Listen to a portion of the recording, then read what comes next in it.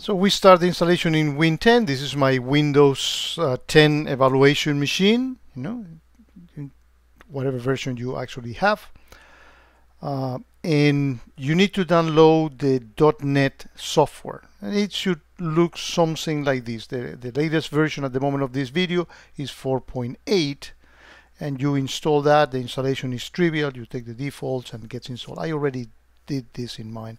Uh, why do you need .NET uses a console that is a Windows component that only comes in .NET. So if you don't have that, when you invoke the WinCollect configuration console, you'll see this ugly message in there. And that, that's an indication that you don't have the right version of uh, .NET.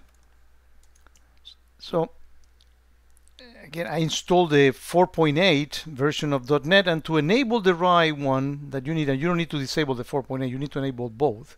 You you invoke the control panel, you go to uninstall program. You need to click in here in order to reveal the presence of 4.8. But notice that you have 3.5 as well. All you need to do is click here, click OK, and you have enabled yourself the version that you need. Most likely you need to do these steps, which downloads the required files. Files. I'm pausing the video until that completes. You have the version that you need, 3.5, without you know conflicting with the latest version of it. You have both libraries enabled. Now, before I forget, I'm gonna uh, before I continue with Win Collect, I'm gonna install the Sysmon component real quickly here.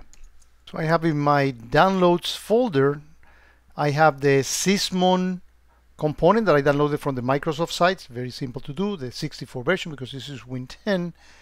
And I also have that special XML filter file that is in the box folder uh, that is uh, that I mentioned uh, in the previous videos. In, in the link of all my videos, you'll find a folder uh, for probably then the title of the folder will be Hacking Windows and you can get that XML file to install that we need to open a command window. I'm pretty sure that I need to do it as an admin. I'm going to go to that directory my download. And with that configuration file everything is easy. All I need to do is do invoke the program and do dash I when you install it for the first time. If you upgrade or change version do slash dash C as in configure and then all I need to do is put the name of the file, keep tab, hit enter, accept the, the license term, and Sysmon is installed. From QRadar Fix Central, I downloaded the WinCollect standalone installer as well as the patch, uh, the, the, the WinCollect 64 uh, version. Now that this has the icon that indicates that it needs to run as an admin, so I run it as an administrator, and the installation is actually very easy.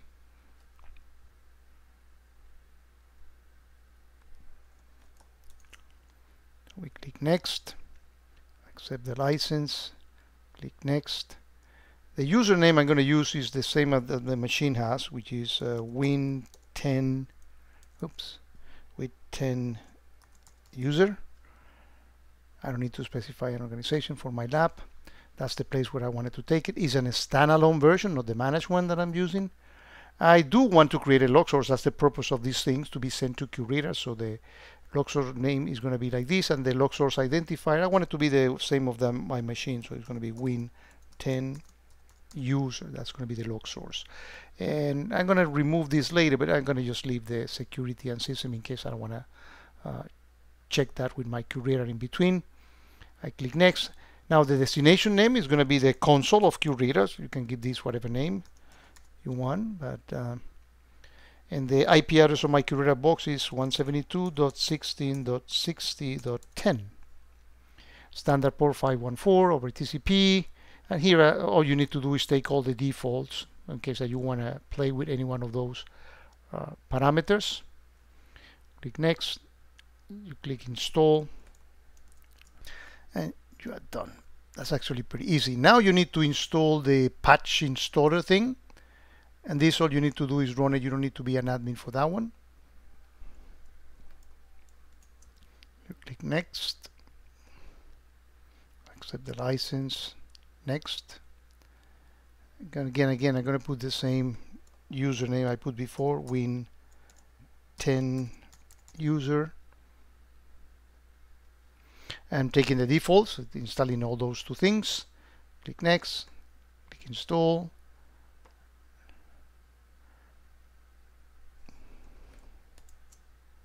If you ever have problem finding in fix centrals and sometimes I do finding the stuff that you want you can go to this very nice page that these guys put together called WinCollect 101 where you get you know you know support notice or whatever things are uh, of your concern and here they actually put a pointer to the actual pieces and you know so a lot of useful information uh, on uh, WinCollect.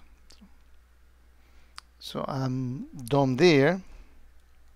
So these are the changes in the registry or by group policy that you need to do in order to enable the right login of PowerShell command. If you don't do this, then uh, you are not going to be able to detect very hidden type of attacks uh, using PowerShell. So I'm grabbing that one and I'm going to open a command window again. Uh, pretty sure you need to do this as an admin because it's modifying the registry. And you issue that command in here and it should execute oops my bad there. I didn't grab the entire line because the windows was too small. So let's try that again.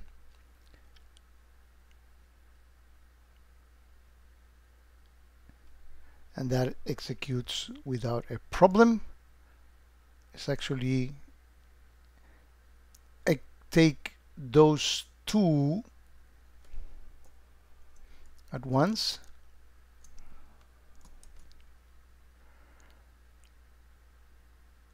paste them in here.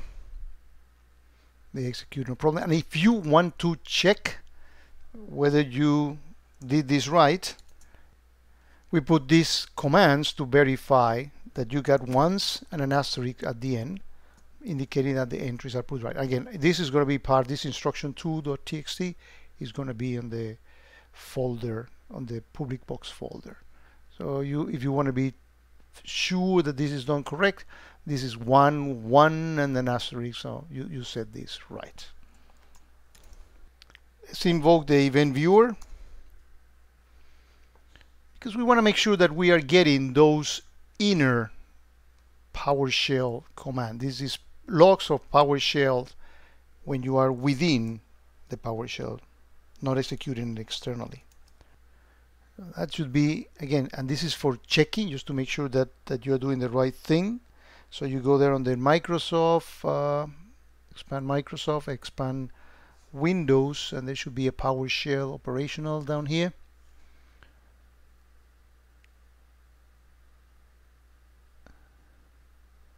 This PowerShell, PowerShell operational. And now let's actually invoke PowerShell. Again you don't need to do this. This is just a way of uh, verifying. And if I do a PowerShell command within PowerShell I want to make sure that the logs are being produced. So Sysmon is going to be able to send them to the QRadar box. We do get process let's actually go here I didn't mean to click there. Let's actually refresh the screen and we should get a bunch of logs. And this stuff is actually working. We're getting the logs, so Sysmon will be able to send them to QRadar. We will detect even attacks that are done within the PowerShell window. So we're almost done for in order to start learning these things. So we need you need to we're going to use the event viewer to create the XML that we will use to configure the final configuration of uh, So we click here on uh, create custom views. We pull down here and we expand on the Windows logs. We're going to get the security and system. And under application services log we're going to get the PowerShell. So I guess that that is under oh actually here Windows PowerShell. We we need even more than that under Microsoft Windows. We need two things in here. It should be another PowerShell and this may be enabled by default. Uh, no it is not. So we want to get PowerShell operational. And we also want Sysmon that should be somewhere around here okay? And Sysmon operational. So we go here on the XML and we grab all those five things in that format. Just put it in the clipboard. Now we need to invoke the WinCollect configuration console and if we install the right.NET version we should see the console. If not we get that ugly message. No we got that right. So you go here under devices. You span here devices. And you have Microsoft Windows event logs. And that's remember the the the unit that we had. And because we are getting those from the XML we can even take these two out that we put before. And in here there should be an XML entry. You see that's the console. Yeah here it is and we need to paste that that XML and all we need to do is deploy the changes. That is okay we're successfully done. We are done with the configuration of uh, WinCollect sorry it took uh, so long but that's uh, the way of getting all details on the log so we can detect the attacks that we will be doing go to the QRadar system and see if these logs are actually being sent so that's the, the IP address of my, my, my machine so we can identify those in QRadar. so I went five minutes back in the log activity tab and I see some logs in there. I need to get enough for auto discovery to work. Notice that that's the IP address uh, that we were looking for.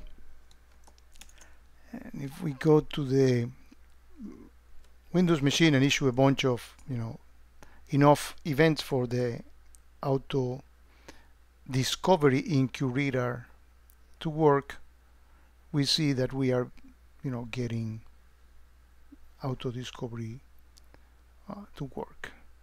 Hasn't discovered the whole thing I need to investigate and there are some things that I need to do in QRadar still to get all this working. But you see that we are identifying some of the events Uh, so let me stop this video here and then we're going to do the configuration on the QRadar side